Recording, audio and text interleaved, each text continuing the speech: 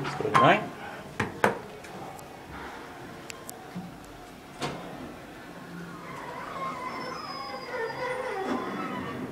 These are the elevators at the Doubletree Hotel in Rosemont, Illinois.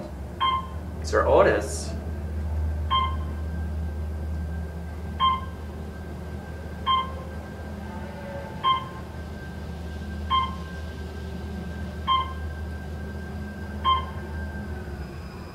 Here at 9. We're going to go to M, the mezzanine. Here's 9. Close the door. It's an Otis Series 2, I believe. Yeah, it's a Series 2.